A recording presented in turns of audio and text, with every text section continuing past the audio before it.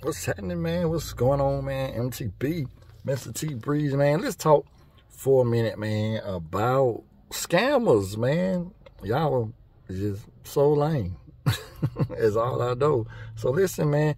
Uh, let me tell you about this scamming situation. Look, so I go online, uh, social media, and I'm like, yo, you know, you know how we do. We support uh, small businesses. We definitely support you know black-owned businesses. So we go to these uh, these little groups on social media where there are people who are entrepreneurs, and you know, you go into the comments and you be like, hey, you know, I'm in search of this particular service.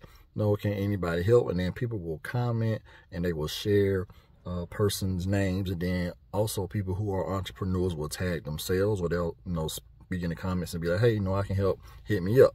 So I go and you know I'm uh, in a position where I'm having this event that's coming up. It's coming up pretty quickly, like in the next day. And I'm like, hey, I'm trying to get a tablecloth, maybe a couple t-shirts done, you know, today or tomorrow.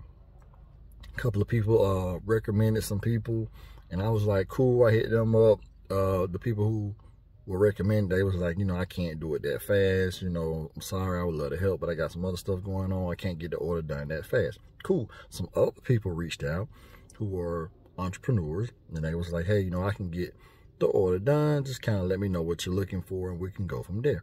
So I told them what I was looking for, trying to get a tablecloth made and a couple of t-shirts. And they was like, okay, cool. Do you have your design already? Do you need a design? You know, we're talking all of the the the uh, preliminaries, right? I guess that's what you call it. And so once we got that situated, I say, you know, hey, how much would it cost? They say how much it will cost. Now, when we're doing business with people, right? Because I respect people's business. Even though I don't know you, even though I ain't never dealt with you before, I respect people's business because I want people to respect my business. So these persons was like, um, you know, hey, uh, this is what it's gonna cost. I can get it done for you. I'm put a rush order in, I'm about to get it done, you know, and I definitely have it to you before you need it tomorrow. Cool. Put the order in and like any business, you know, that you take seriously, you know, especially when you're doing a service for somebody, especially someone who you're not really familiar with, you ask for a deposit because your time, your product, all those things are very important and you don't want to waste your time. You don't want to waste the customer's time. So, you know, you ask for a deposit to make sure that the work can get done. Pretty normal stuff, right? Cool. Send the deposit person hit me back, hey, I'm done with the work. Go ahead and send the rest of it. Nah, nah, we ain't about to do that. Nah. So I'm like, hey, you know, show me the work. So they send me a picture. Now, y'all know we live in 2024, man. Technology is everything, man. You can do so much from, from your phone. You ain't even gotta have a laptop, none of that. So they send me these pictures of a t-shirt, one t-shirt with my logo on it. You can do that on your phone, copy and paste. It's very simple. Uh, plus, plus I'm tech savvy, so that don't that don't make no difference to me.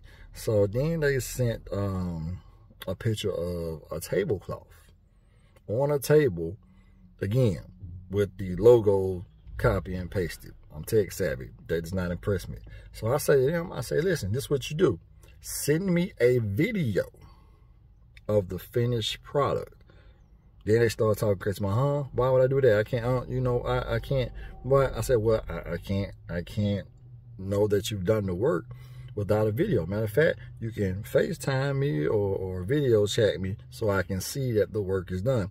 They they like, oh well, I'm a I'm gonna finish up the order, then I'm gonna hit you back. But you said you finished the order.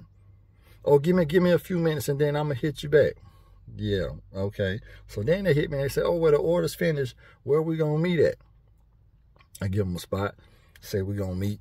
They say, okay, I'll meet you there. So how long it's gonna take? I say, oh, about 30 minutes or so. So I'm like, okay, cool.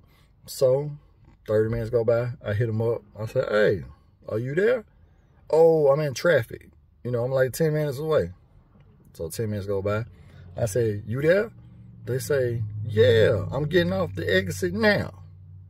Two seconds later, I get a text say, oh, I'm in traffic, but you said you was getting off the exit. So, because I know at this point, well, I knew way back when it was a scam, right?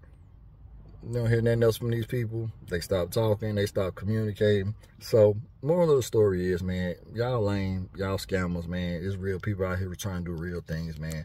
So, you know, that's why uh, I'm very happy that, you know, my business, you know I'm saying, people can, can give a great report about my business. I ain't never scammed nobody. I ain't never pimped nobody out no money. Listen, my integrity and the name of my business is more important than a couple of dollars. So, because y'all had fun scamming, enjoy your deposits. And if I ever see you, we're going to have some problems.